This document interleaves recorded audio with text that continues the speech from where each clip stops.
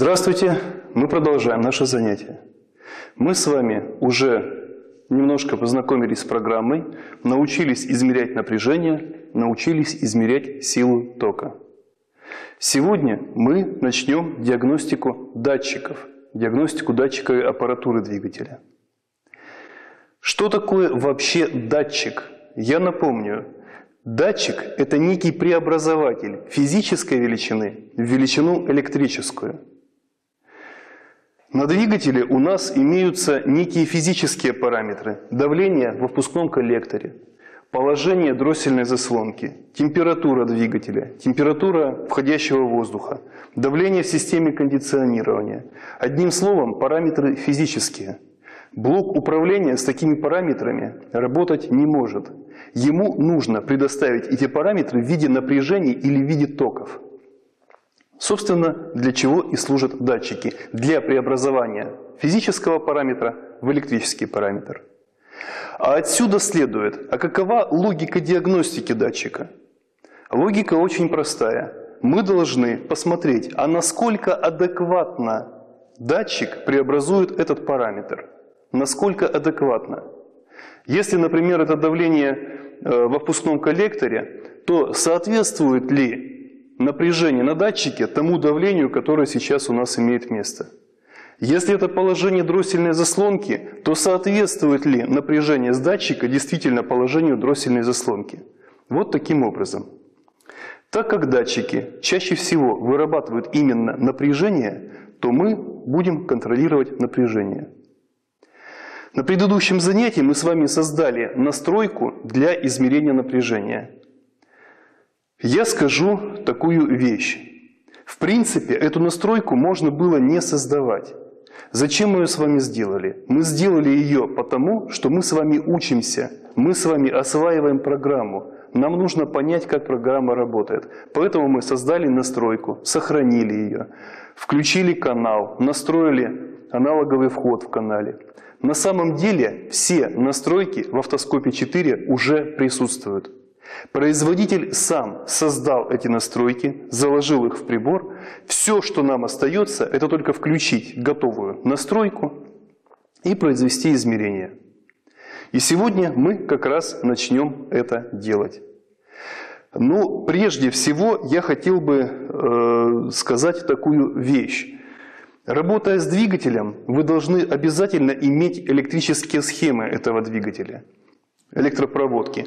Э, вы можете где-то взять дилерскую базу данных, можете скачать схемы с интернета, найти их в интернете, можете купить литературу по этим э, двигателям. Там будут схемы, будут соколевка разъемов, будут цвета проводов.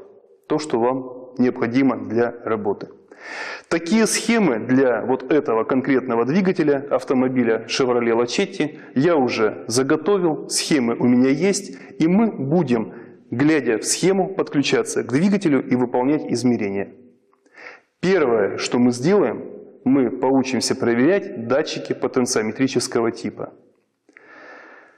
Эти датчики служат для преобразования, скажем так, пространственного положения какого-то узла в напряжение.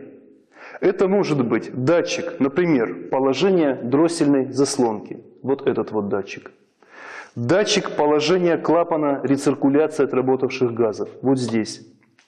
Это датчик э, уровня топлива в баке.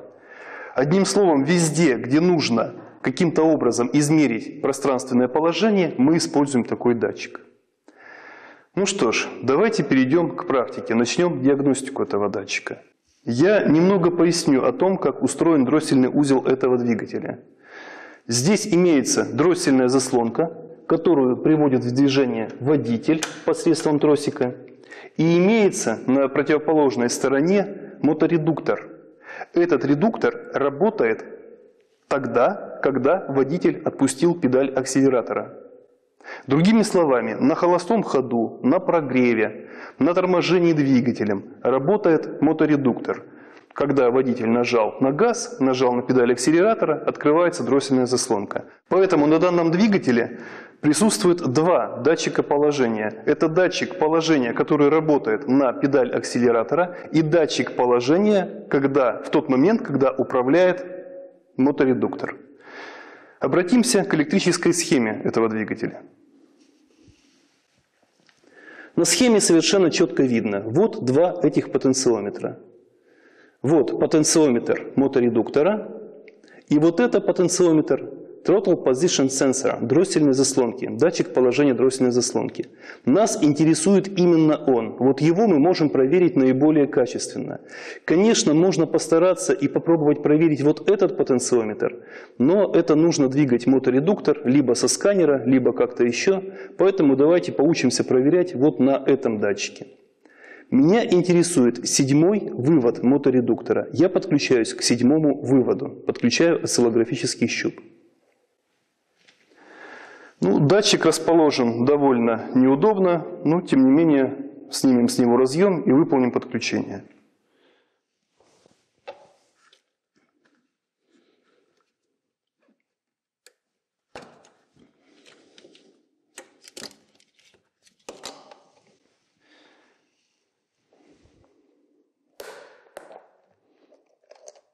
Я воспользуюсь иголкой.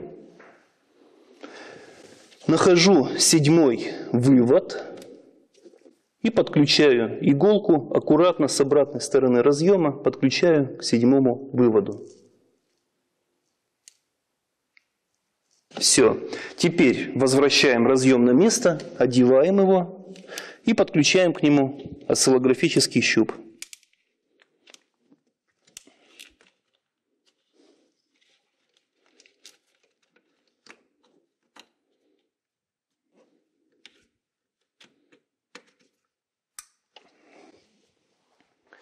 Давайте будем использовать тот же второй канал, который мы, с которым мы уже работали. Вот здесь очень пригодится светодиодная подсветка, потому что достаточно темно и не видно, что мы делаем. Все, подключение я выполнил. Теперь нужно включить зажигание и обратиться к программе. В программе нужно выбрать готовую пользовательскую настройку потенциометр. Настройка содержит сразу 4 канала. Можно проверить одновременно 4 потенциометра. Ну, э, скажем так, мы используем только второй канал, поэтому, поэтому у нас сигнал присутствует только на втором канале. Ну, пусть будет только на втором. И вот теперь Дроссельную заслонку нужно плавно перемещать, плавно перемещать и наблюдать за сигналом на экране.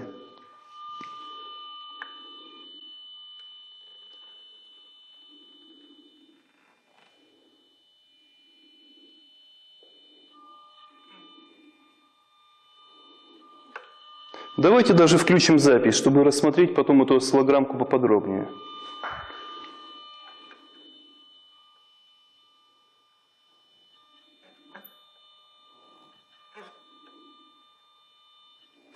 Ну, пожалуй, достаточно.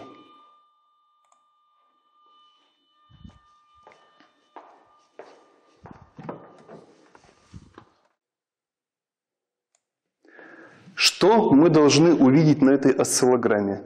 Мы должны увидеть ровное, плавное нарастание сигнала без каких-либо провалов, без каких-либо рывков, без пиков, без шумов, вот такой ровный, гладкий сигнал, какой получился у нас. Вот это и есть та самая адекватность преобразования.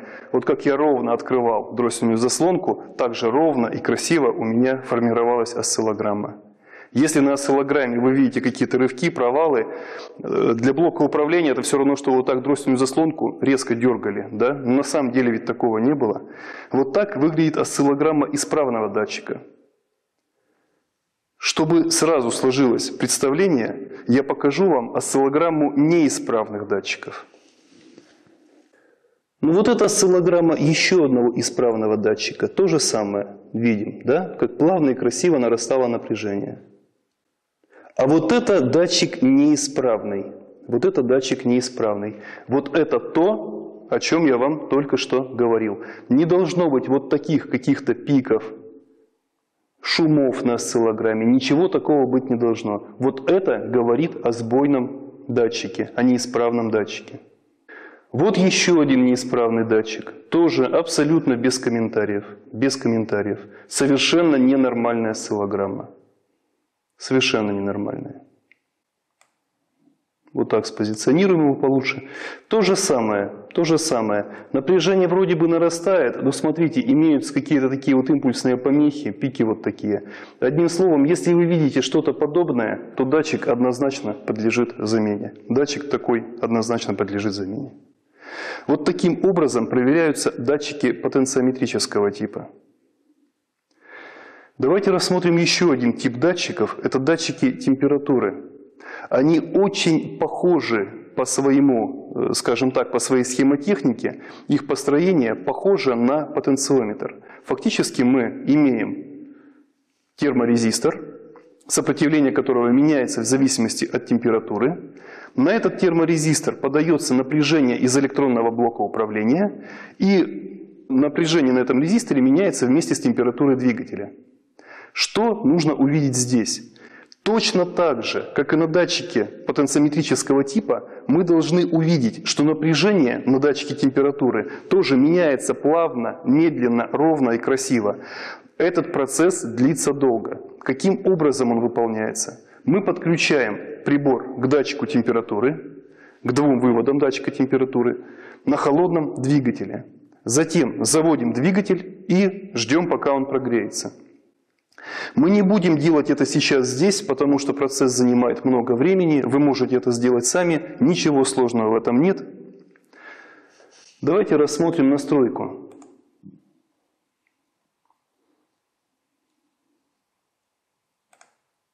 Вот настройка, которая создана производителем прибора для проверки этого датчика. К первому каналу подключен первый вход устройства, ко второму каналу второй вход устройства – все, мы берем два входа и подключаем их к датчику температуры. Заводим двигатель. По мере прогрева двигателя напряжение на датчике будет плавно нарастать. Ну, достаточно долго, сколько нужно для прогрева? 10-15 минут, но напряжение будет плавно нарастать. Если же вы увидите вот такие же сбойные места, как мы видели на датчике положения дросселя, то это означает, что датчик температуры неисправен. Чтобы не быть голословным, я покажу несколько примеров. Вот это осциллограмма исправного датчика температуры. Посмотрите, напряжение на датчике по мере прогрева двигателя плавно, ровно и монотонно падало. Никаких сбоев здесь нет. Можно даже посмотреть хвост этой осциллограммы. Все, вот здесь двигатель уже прогрелся и температура его стабилизировалась на одном уровне. Вот так выглядел выглядит сигнал исправного датчика температуры. Если же датчик температуры неисправен, вы увидите другую картину. Вот это осциллограмма неисправного датчика. Смотрите, напряжение, напряжение на нем падает, двигатель прогревается. И вдруг в какой-то момент мы видим вот такие сбои. Вот такие вот сбои. Ну, все больше и больше. Все, такой датчик однозначно подлежит замене. Однозначно подлежит замене. Еще один пример неисправного датчика температуры. То же самое, температура нарастает, напряжение на датчике плавно опускается вместе с температурой. И вдруг в какой-то момент мы опять видим вот такие вот, такие вот дефекты. Да?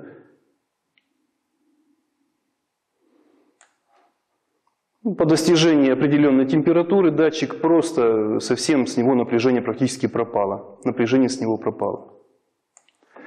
Почему так происходит? Почему нужно отследить во всем диапазоне температур от холодного двигателя до горячего двигателя? Э, датчик при нагреве деформируется ну, по всем законам физики. Расширяется, что-то происходит. Еще датчик деформируется, и в какой-то момент контакт внутри датчика попросту пропадает. Если вы видите такую картину, как я вам сейчас показал, то датчик нужно менять. Итак, датчик потенциометрического типа, датчик температуры. Теперь вы умеете датчики такого типа проверять при помощи автоскопа 4.